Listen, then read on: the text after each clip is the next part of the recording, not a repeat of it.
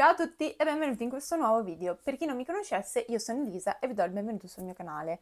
Viste le giornate grigie e piovose, diamo un tocco di colorino qua, anche se non troppo perché il maglione è nero. Ma nonostante ciò, benvenuti in questo video in cui vi parlerò delle letture che ho fatto ad aprile. Sono molte, mm, per i miei standard in generale ho letto molto, eh, ma di queste il mio cane si è evidentemente scocciato di ascoltarmi e se n'è andato.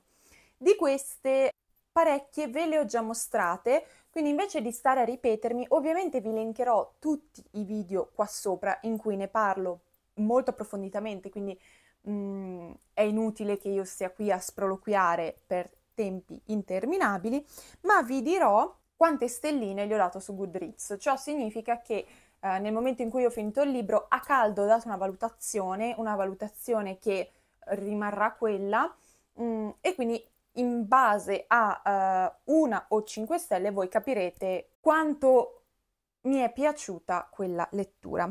Allora, io partirei dagli Iperborea, semplicemente perché uh, sono quelli che vi ho fatto vedere nel video scorso, che uh, sarà il primo che vi metterò qua in alto nelle schede. Andando in ordine di lettura, partiamo col primo, che è stato Mare Bianco. Mare Bianco è il secondo libro della saga dei Barroi, il primo è Gli Invisibili. Come vedete qua eh, cade tutto, adesso piano piano rimetterò su, così avremo un setting un po' più decente. Questo ha ricevuto 5 stelle, un libro di cui appunto vi ho già parlato, bellissimo, 5 stelle per me le vale tutte. Successivamente ho letto Leggende groenlandesi. A questo ho dato 5 stelle semplicemente, vi dirò la verità, perché alle altre fiabe non darei 5 stelle, quindi ho voluto valutarlo in mh, mm, rapporto alle altre, anche se a vederla tutta probabilmente gliene darei 4, però facciamo fede a quello che ho messo a caldo, quindi 5 stelle anche per questo uh, testo che però se devo vedere in base agli altri 5 stelle non è un 5 stelle. Dai, 4, facciamo 4 stelle questo. Poi passiamo a Il faraone d'Olanda. Non vi sto leggendo gli autori, semplicemente perché per me sono piuttosto impronunciabili. Cioè ho paura di dire delle castronerie, quindi li vedete. Allora, Il faraone d'Olanda, un libro bellissimissimo, Leggetelo, veramente molto consigliato. Uh, ho dato 5 stelle. Ora, lo so che sembrano tutti 5 stelle, la verità è che sono letture che mi sono piaciute molto. È stato un mese veramente proficuo. Uh, non ci sono state letture che mi hanno delusa particolarmente, né che mi hanno delusa in generale. E questo mese di maggio invece prevedo già che qualcosa and- andrà storto perché ho intenzione di recuperare dei libri che sono fermi da anni. Ciò significa che proprio non mi piacciono, ma io le tento tutte. Comunque, ritornando al nostro faraone d'Olanda, questo libro è una coccola, una dolcezza, leggetelo.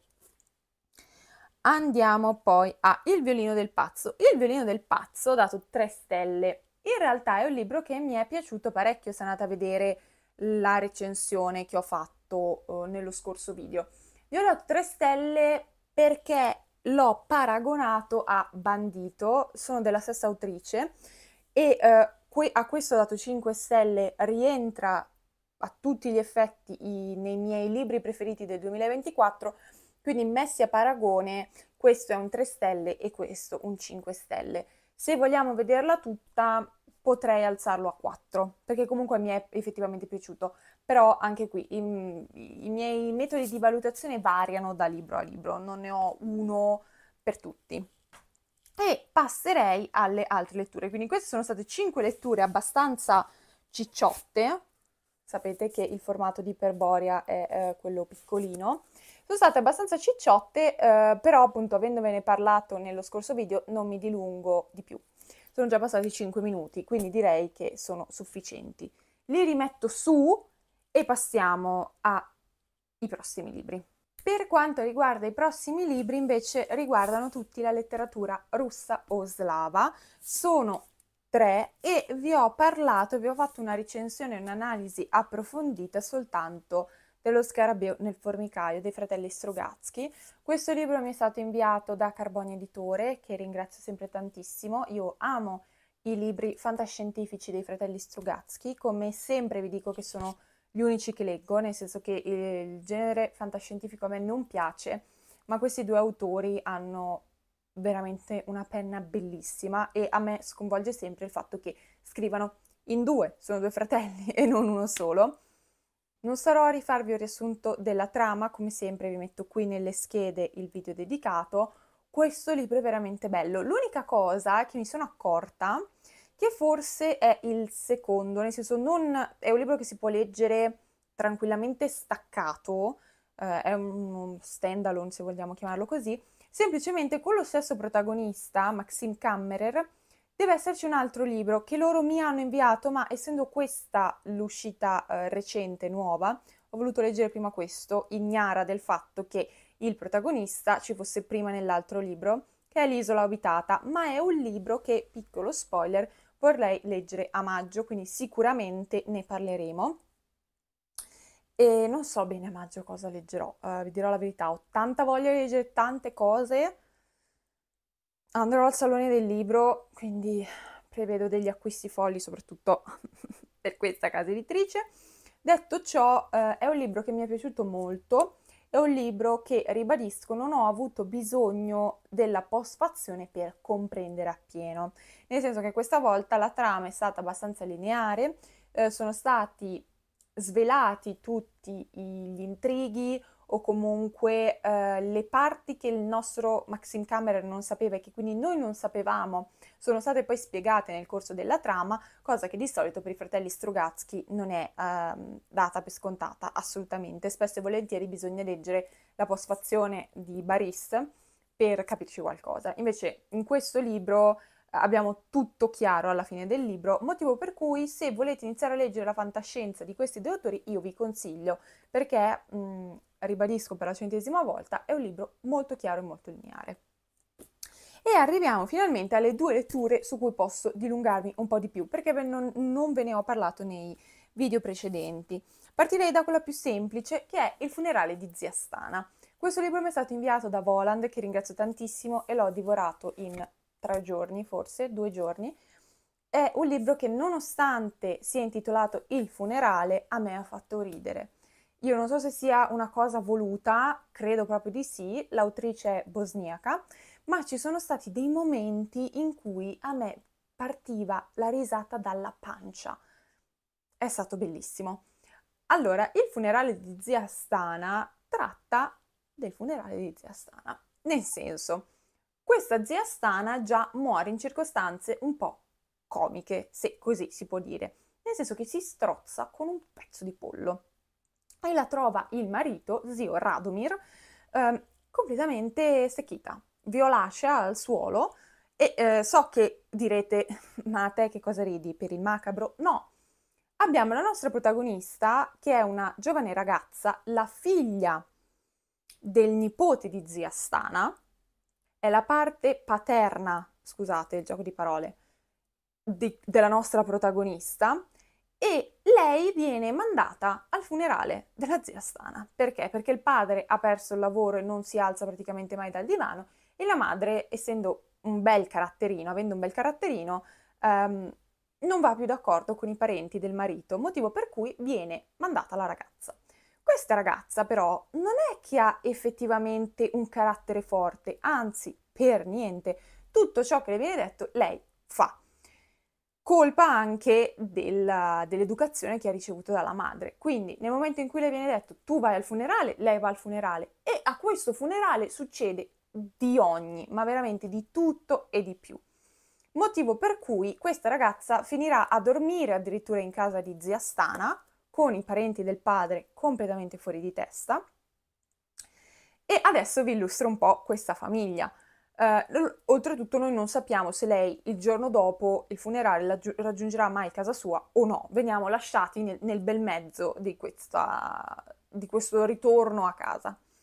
Innanzitutto abbiamo, uh, vediamo le coppie di altri zii. Allora abbiamo zia Stana, appunto morta, e zio Radomir, che ad un certo punto, preso dalla disperazione, oltre a buttarsi sulla cassa di zia Stana quando la stanno per interrare e mancarla, quindi finire di faccia nel fango, è stata un'immagine che mi ha fatto molto ridere, credetemi, come è stata descritta fa molto ridere.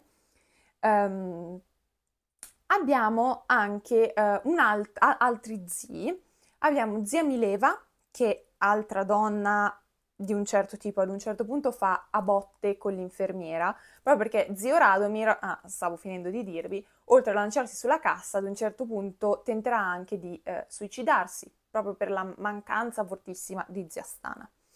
Zia Mileva, appunto, è sposata con zio Ghiro. Zio Ghiro è un ubriacone, quindi lui l'unica cosa che fa è pensare a bere la rachia, spero si pronunci così, che deve essere questo liquore bosniaco molto forte, molto alto di gradazione. Poi abbiamo il pope e la popessa. Ora, non sono un pope e una popessa, semplicemente lui aveva preso i voti e poi, dopo essersi innamorato della popessa, è uscito da uh, tutta la parte religiosa, diciamo, e ha sposato la popessa. Questi due sono estremamente strani, nel senso che il pope non dice niente, è assolutamente succube della moglie. La moglie è ben strana, cioè ad un certo punto, verso la fine del romanzo, non posso dire cosa succede, ma molto molto strana. E poi abbiamo il cugino Stojan, o Stojan, non saprei dove va l'accento. Il cugino Stojan, io l'ho sempre letto così, quindi nella mia testa è corretto. Il cugino Stojan è un uomo che si accende per tutto. Questo accende con gli apparecchi mi viene veramente male si accende per tutto e infatti ehm, insieme a tutto il resto de- del, del parentado dovete immaginarvi che disastro che fanno a questo funerale. Quindi per me è stato un libro che ovviamente fa riflettere su determinate tematiche, eh, penso che sia scritto in questo modo anche per esorcizzare un po' la morte, però è un libro che a me ha fatto veramente divertire nonostante tutto, quindi io ve lo consiglio. L'ultimo libro che ho letto questo mese è Nella quiete del tempo di Olga Tokarczuk. Allora, di questo libro non so veramente bene come parlarvi, penso che vi farò una recensione singola perché è stato un libro molto molto profondo, ehm, difficile da affrontare a tratti. Quello che io dico sempre è che la scrittura della Tokarczuk per me è molto semplice, molto lineare, molto bella. Um, anche la struttura dei suoi testi per me è un po' difficile da affrontare, nel senso che noi abbiamo determinati personaggi, facciamo un numero massimo di 10 personaggi umani, questi 10 personaggi non ci vengono presentati subito tutti, ma ci vengono presentati pian piano nel corso del racconto. E qual è la narrativa di questa autrice? Lei fa sì che ogni personaggio dia il suo punto di vista, ma non tutto insieme, bensì sfalsato. Sono eh, vi faccio un esempio perché non riesco a, a, spiegarmi, non mi viene il termine che vorrei usare. Abbiamo Misia, che è una delle nostre protagoniste, eh, è figlia di Genovefa e Mikau. Scusate, sono nomi polacchi, io spero di pronunciarli correttamente. Quindi abbiamo il punto di vista di Genovefa, il punto di vista di Mikau, poi il punto di vista dell'angelo di Misia, dell'angelo custode, poi finalmente Misia inizia ad avere dei pensieri perché dopo essere nata inizia a crescere, quindi il punto di vista di Misia, il punto di vista di Genovefa, il punto di vista di Mikau, poi abbiamo il fratello di Misia che nasce, Isidor, quindi abbiamo il punto di vista di Isidor, così.